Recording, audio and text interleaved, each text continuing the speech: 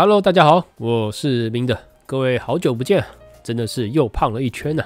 虽然这时间真的有点晚了，还是祝各位宏兔大展，前途无量，然后一同回归社畜的人生吧。这次就不多做预防性的防御性咏唱了，反正我知道做这类有一定饭圈的游戏评测，不免到时候还是会跳出可怕的穿刺式留言，或者踩你一脚后就高歌离场 Q 式胜利，所以防御力点再高也没用啊。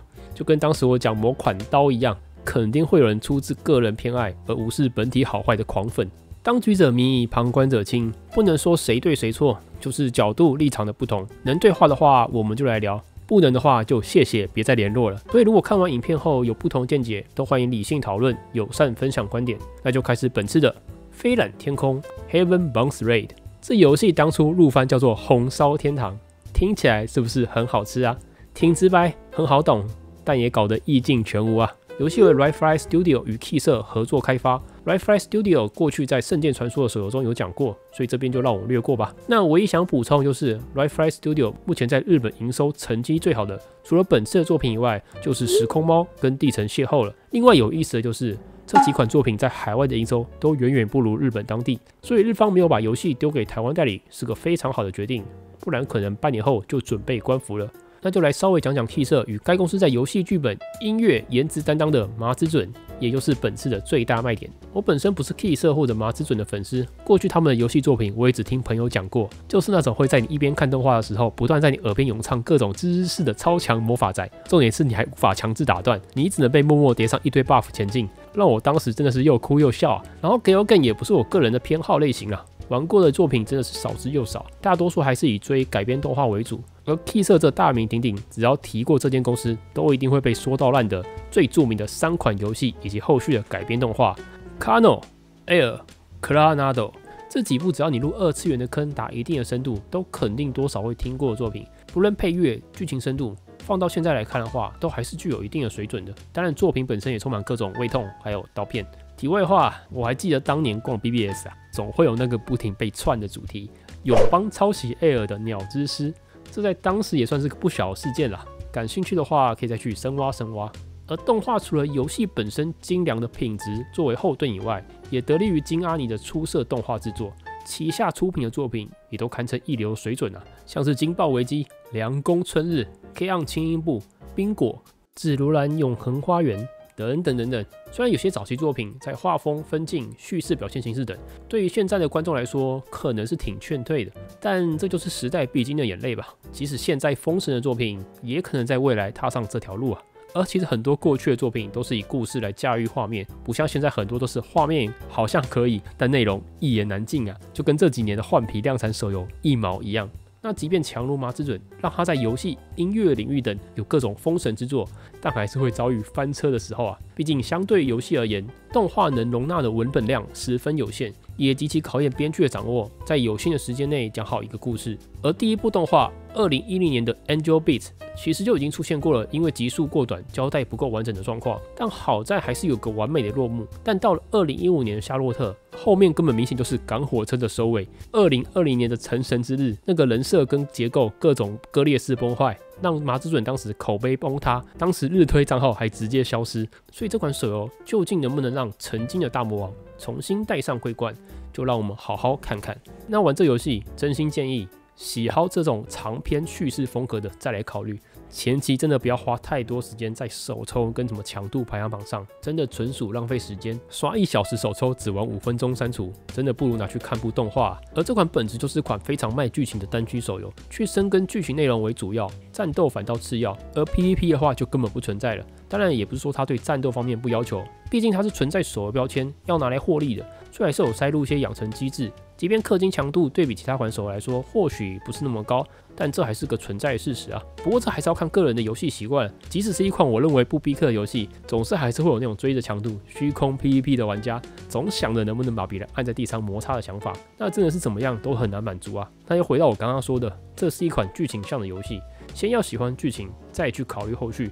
别为了芝麻丢了西瓜，战斗真的不是主要的玩法。那游戏剧情上碍于官方规定。禁止发布第一章 Day 十一之后的内容，所以就只能浅谈个人体验的部分。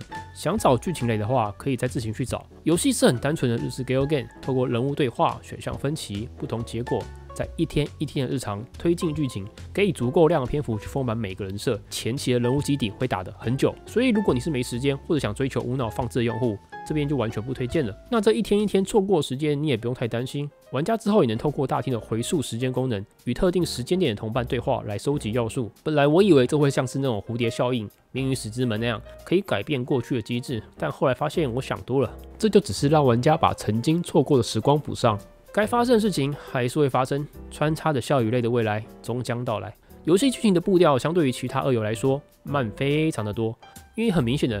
马之准在为每个角色发刀前，必须要先磨好每一把刀，也不可能跟某款游戏一样，开头就给你崩一枪，要你哭，给我哭，你为什么不哭？这就会导致情绪烘托不到位，到时候又准备被延上了，所以需要花蛮长时间去 run 剧情，相当于在看一部上万字的电子小说，而不是六十秒的注意看快时解说片，或者是有比较明显阶段的短篇故事。所以这几天读下来，其实还是挺费神的。如果想短期追进度的话，很容易阅读疲劳或者前后衔接不上。而就世界观而言，其实它并不算特别有趣或者新颖。举我频道讲过比较类似的手游，就是之前介绍过的《图吉莉莉》，遭受外星生物新癌体 Cancer 的袭击，少女们可以召唤特殊武器炽天使 Seraph 为拯救世界而战。另外一提，这也是带点百合属性的游戏。不过这次玩家可以透过女主角月歌的视角来带入互动，比较不会有那种看 CP 赛恩爱的感觉。你还可以跟女孩们吃饭、打棒球、组团、洗澡，在校园游荡，看角色们日常的生活对话，以及可以看到各种四处游荡，但请务必带着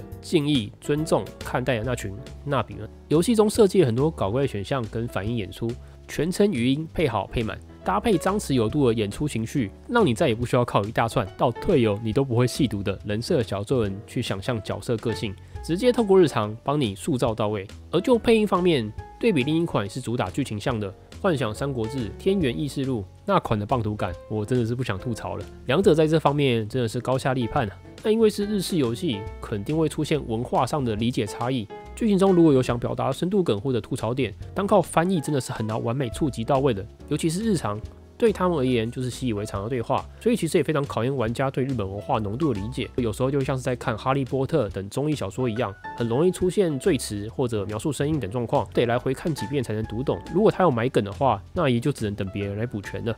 也会借由刚刚前面提到的各种角色搭配情绪的演绎反应，来放大那些可能有特意安排的内涵。不过其实我是蛮木头的啊。对这方面比较冷感一点，有时候真的 get 不到一些点。不过前面看到那个 Hello World，我真的是大笑了，毕竟这是属于资讯宅的万年老梗嘛。但整体在剧情的叙事方式真的很吃电波啊，是属于那群喜欢日常番的狂欢呢。那再来讨论美术方面吧。这边讨论画是以手游版为主，Steam 版的画质应该会好上不少。而以呈现的游戏性而言，可以的话，我觉得直奔 Steam 版上会更好，也比较符合这类的目标用户。首先，人物的 3D 建模表现上并不算太好，明显的短板缺点在角色的曲线勾勒，像是脚部的肢体躯干等，跟人物动作上明显会稍显僵硬一点。2D 立绘方面就中规中矩，毕竟现在很多都是直接 Live 2D 扔你脸上，有时候看上去活灵活现的还是比较讨喜一点。那角色穿搭跟肢体表现方面，即使后期有泳装系列，但相对现在大量软色情的手游来说，成千上也较为保守。如果想在这边找些偏卖肉的题材的话，还是趁早离开比较适合。那讲到这点，也可以很好的把那些不适合用户筛选掉，避免后续的麻烦。而这次例会手绘感对比棕色尘埃来说就更强烈了，从涂色跟细节处理上所打造出来的风格极其鲜明啊。看得出来美术是真的很用心的在绘制。另外有个非常值得一提的，就是在人物对话过渡到 3D 后的画面表现上，还是显得非常和谐的，真的是难得携手合作了，没有像非匿名指令那种给你来一个开盲盒的惊喜。那还有个设计也是挺有细节的，像是你打开选单，人物也真的会有掏手机的动作。那场景可能是为了顾虑手机的性能。在材质的贴膜上并不算太精细，但营造的校园感还是挺足的。除了昼夜变化以外，近远景的景观设计上，该把控细节也没有丢失。那战斗玩法上，其实说不上多创新或者好玩，就是很典型的回合制。且玩法上也挺简单的，双方都有 DP 值，被攻击消耗完以后，就会进入 break 类似气绝的状态。这时候就是要抓准时机输出，考验队伍如何搭配快速破盾，跟上 buff 追输出等。而我方角色破盾后，就是准备等死了。而且你只要一个角色 HP 归零倒地后，这次的出巡就是直接 end game 重来了。那详细的战斗流程，官方其实也有出中文版的影片教学，所以倒也不用怕不懂，还是挺简单好上手的。而它也有跟棕色尘埃一样，有那个不能逃的设计，所以你也只能闷着头打就对了。视觉远处。方面表现一般，没搞太华丽的特效，但对打该有的互动还是有做出来，这方面还是给过的。然后如果你觉得很烦的话，也能靠一路 auto。除了特别你要练低等角色或者战力不够的情况下，不然前期章节应该是足够应付了。除了我刻意去实验，我还没有遇过被灭团的状况。再来讲到前期的养成，官方这点也算是挺贴心的。同名的角色等级都是共用的。